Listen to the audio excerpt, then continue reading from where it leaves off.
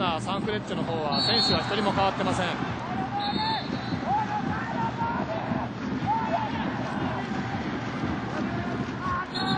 大西に代わって15番の大木。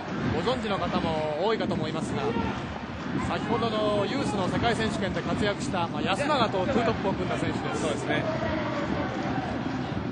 確か加藤さん、はい、青山学院を途中で出てサンフレッチェに入ってるんですよね、はい、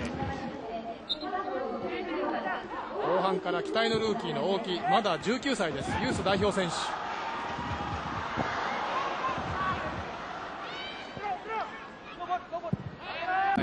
まらないですよね。第1ステージも中盤の折り返しになってもう順四かわしたい。裏から入った。同点変わった大きい21分 J リーグ初出場初ゴール。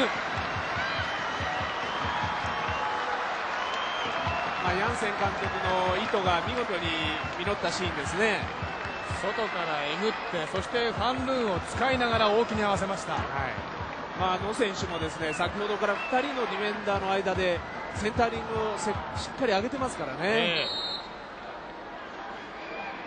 ー、柳本が入って左からサイドが変わります。そしてノ・ジュンユン。非常にいいセンタリングでした。ワンルーンを越えて競り勝った大木。雨が降り続いています。新潟市陸上競技場です。こぼした！シュート！隙がありませんでした。いやあの雨が降ってきたということもあってですね、はい、まあ、ゴールキーパーとしては非常にボールもスリッピーになってますからね、つかみづらいというのはあるんですけど。ディフェンダーに当たってマウスの外に弾き返されました。この後のプレーです。これは決定的ですね。大きいです。左まで入れそうな雰囲気ですがサイドに回った佐藤拾う森保。半分。折り返したシュート。あーっとしまった。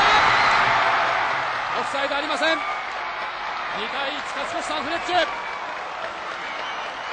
最後はハウストラ。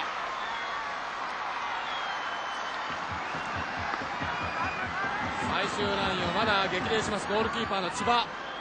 後半の39分。ようやく勝ち越し点を挙げました。1人多いサンフレッチェ。加藤さん、はい、アウストラが決める前のシュートでちょっとディフェンダーが一瞬立ちました。そうですね、まあ、これ逆サイドいったボールファンルーンがうまく中へ落としましたよね、まあ、そしてそれを大木君のももそしてハウストラですよね。大木のシュートの後になかなか反応ができませんでしたがまたチャンスそれでは共同インタビューを始めます、えー、ノー・ジュンユン選手にお話を伺います。あの今日はですね久しぶりの出場だったと思うんですが自分としてはどういう気持ちで臨みました？そうですね。ちょっと怪我で試合出なかったから今日はもうちょっと調子も良かったし絶対できるまで頑張ると思いました。特に後半ですねなかなかこう点が取れなくて大変だったと思うんですが自分としてはこうどういう気持ちでプレーしました？今、うん、チェーン選手が全部頑張ったからこれは入ると思いました。でもちょっとセンタリング上げたらもうチョンもいるしみんな今頑張るからこう入れると思ったからもう絶対勝てると思いました。ありがとうございました、えー、では続きまして同点ゴールを決めました大木選手です、えー、初めての J リーグの出場でしかも同点そして自分の出た試合で勝てたとどんな気持ちですか？今日最初だったんで、まあ、出れたらとりあえず一生懸命頑張ることだけを考えてやりました。あの後半出る前にですね、えー、監督からどんな話をされたんですか？僕いつもはフォワードのトップやってるんで今日はちょっと違うポジションだったんでその確認だけをして出ました。あの場面ですね自分としてはどういう気持ちで突っ込んでいきました？いやもう僕しかいないと思ってここには。